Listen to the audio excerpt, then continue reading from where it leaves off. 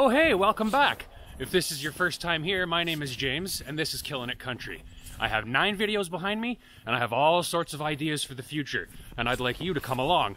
So if you're not signed up or you're not signed in, do so and hit that like button and hit that subscribe button. Subscribing to my channel is going to do a few things. It's going to tell YouTube that the content I'm creating is interesting, and it's going to put that content in front of other people so they can decide if it's interesting for them as well. So you're here for a review of the Kubota BX 2755 HD front mount snowblower. So stay tuned because I'm going to tell you exactly what I think. And at the end of the video, there'll be a little something extra, a little teaser, a little hint of what's to come this spring. Let's do it.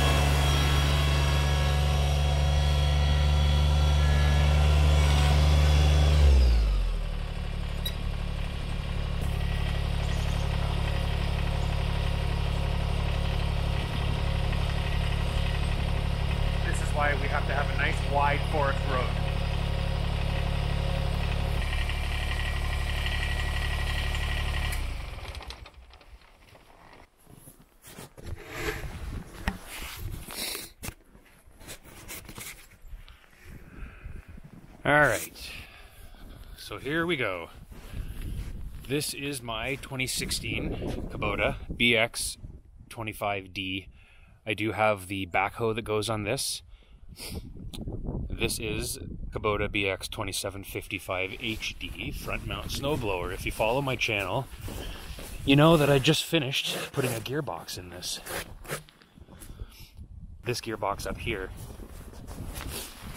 with the worm gear. I uh, have just recently replaced that. Uh, that's video number nine in the series. Um, I'll link to it here if I think of it. Um, so this is my snowblower. I ran the tractor with the loader arms and the bucket to clear snow for the first half of the winter in 2016-2017. And it was okay. Uh, it's a little labor intensive. You spend a little more time outside than uh, you would normally want to spend. Uh, this took longer to come in than the tractor did uh, when I got it. I was happy to have it, no doubt about it. It definitely is quicker. Uh, but it's not perfect. But what is perfect? What's the perfect machine to do any job? As soon as you think you find the machine you have to do the job,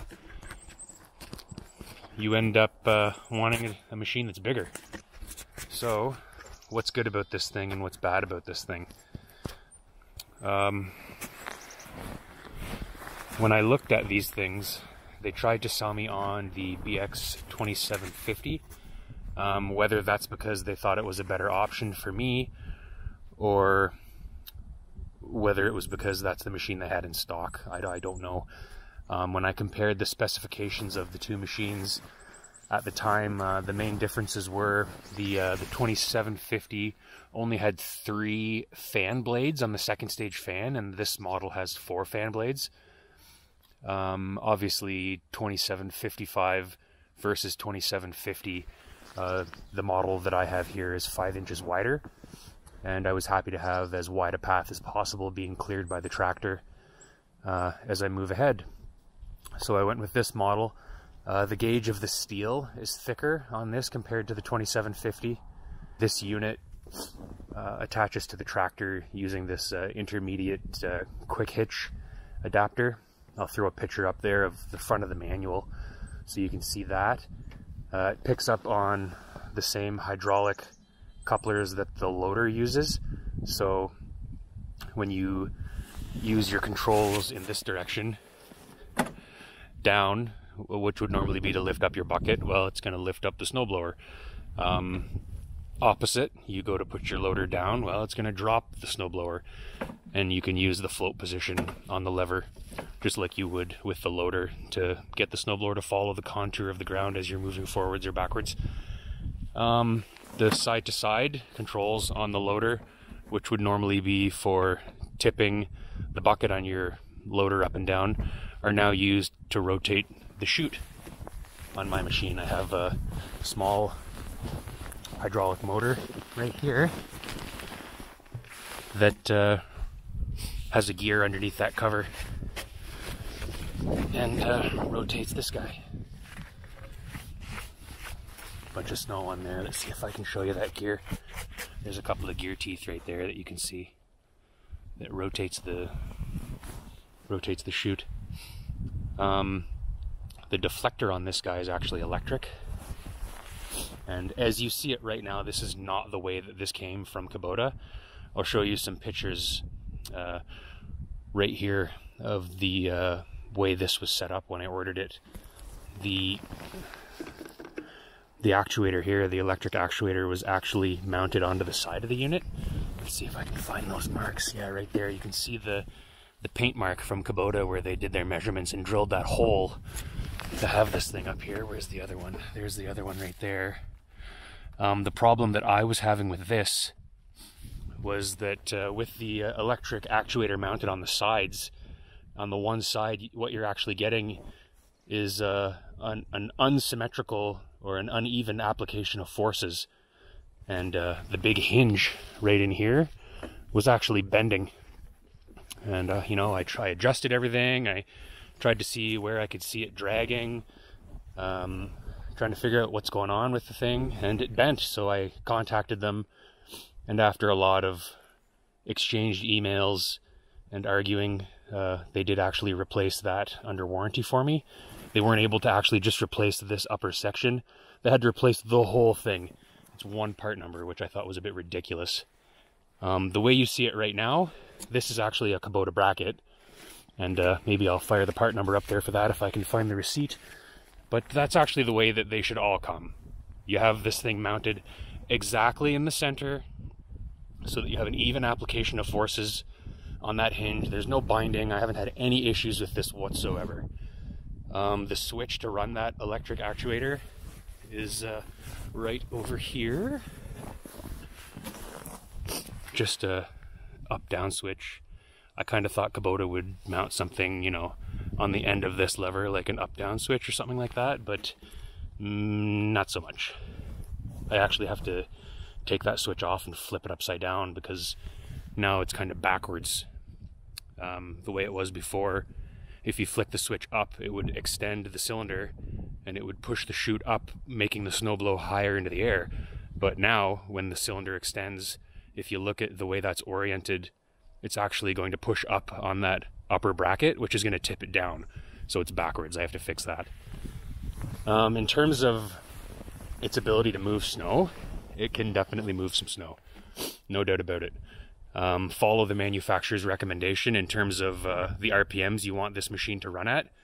It says that they want you to be in the upper end of the RPM range, and I 100% agree with that.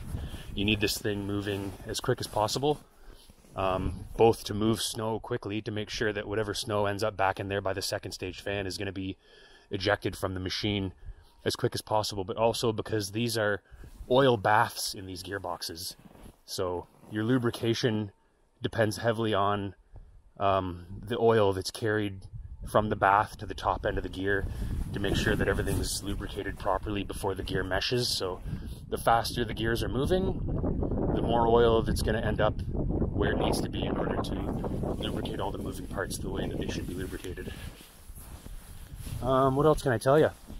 I'm probably going to uh, pull this uh, snowblower off of the tractor for you. I'll take it all apart and uh, let you see how it goes together and how it attaches with the quick hitch and how the PTO links up to the tractor and everything like that. Uh, so for now, let's maybe go move some snow. Oh, one other thing I did want to mention. I had mentioned that this tractor was the BX25D model and it has the backhoe on the back. The first couple of years, I left that backhoe on the tractor. Um, I now realize that was a mistake. It's too much weight on the back of the tractor. It takes too much weight off of the front tires and it can make this thing difficult to steer when you're trying to move snow. Now that I've got the backhoe off and I just have that uh, that uh, CBX 48 bush hog box blade installed, it's it's allowed a little bit more of the weight to come onto the front tires, which helps with traction immensely. I can now steer this thing much easier.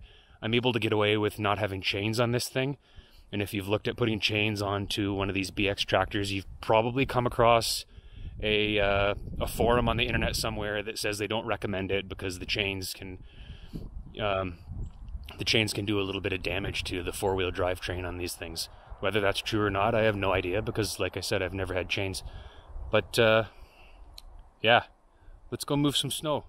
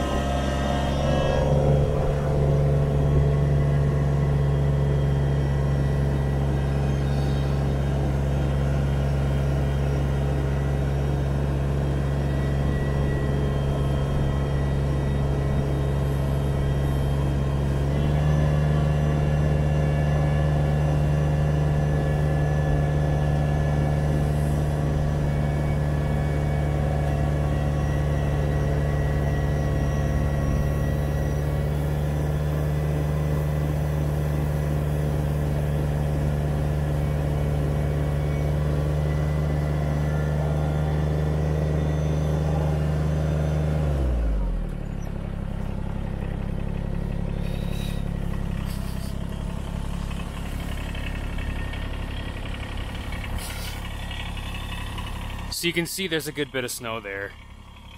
Um, I don't know how much. Maybe a foot, a little more. Let's go set this up down here for you guys.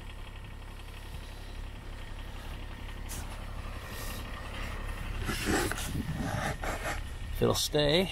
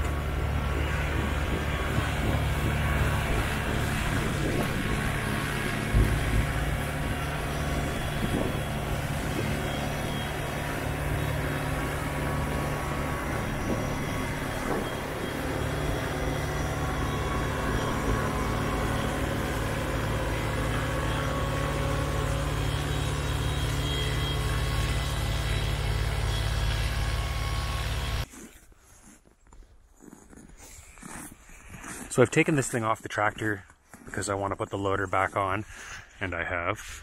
Uh, I've just lined all of the different components up here on the ground so that you guys can get an idea of how this thing actually runs. Um, this guy here, which is a BX 2751 uh, quick hitch, hangs off the front frame of the tractor itself. It's got a very short section of PTO in it. There's a spline here, comes forward, a couple of grease nipples, And then you have the forward output for the PTO shaft here. That small section of PTO shaft is driven by this longer section here. Hooks up to the, the PTO output on the tractor underneath uh, the seat, kind of between the two rear tires. Drives forward, drives through that. And then uh, this guy here couples up into there and is able to lift the snowblower off of the ground by that uh, hydraulic cylinder. Uh, talking about maintenance a little bit. Uh, the maintenance is pretty straightforward. It's all grease nipples and there's two oil baths. But this reduction gearbox gearbox on the back here, I'm not thrilled with, to be honest. It's uh, it does have a drain plug, but the drain plug is not at the bottom of the gearbox. So if you were to superimpose a clock on the back of that gearbox, you would think the drain plug would be at the six o'clock position, which is the bottom. It's not at the bottom. It's at like the five o'clock position, which is crazy. Um, Kubota, if you're listening, uh, when oil shavings and contaminants and that kind of stuff settle out in a gearbox, they tend to settle out at the bottom of the gearbox. And it would be ideal to have a drain plug at the bottom of the gearbox so that when you change the oil, you can get all of the contaminants out. Because right now, if there's anything in there, it's just going to be sitting at the bottom. You're also not able to change all of the oil in the gearbox unless you were to tip the gearbox up on its side. Um, so maybe they've addressed that in newer models. This one was built in 2016. I'm not sure. But uh, that would be my only gripe, I guess.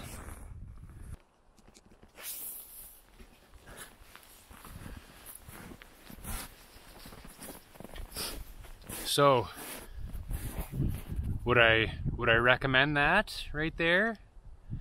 BX 2755 HD Kubota front mount snowblower? Yeah, I'd recommend it. Stay up on top of your maintenance. If it says every month you need to top up the gearbox oil or check it, then do it and top it up. You know, I was probably stretching that stuff a little bit more than I should have, which is the reason why my uh, little gearbox failed on me. But uh, it's been a really great unit. It's a lot quieter now with the new gearbox. So if you need one, you should definitely look at it. I don't know if it's necessary to get the heavy duty one. I did. You could probably get away with uh, the BX 2750 or whatever model numbers they're going with now. There's all sorts of different model numbers. They change from uh, the States to Canada. But uh, if you have any questions about the snowblower or the tractor or anything, feel free to leave a comment. I'll either follow up with you in the comments or I'll make a follow up video. That's no problem. Uh, thanks for your time. Thanks for tuning in. Uh, thanks for your likes and for your subscriptions. And uh, here's a little teaser of what's coming this spring. Take care, guys. We'll see you in the next one. Oh, hey. Good morning. These look pretty nice, don't they? Hey? It's the right color. What do you guys think? What's the best model of mini excavator from Kubota?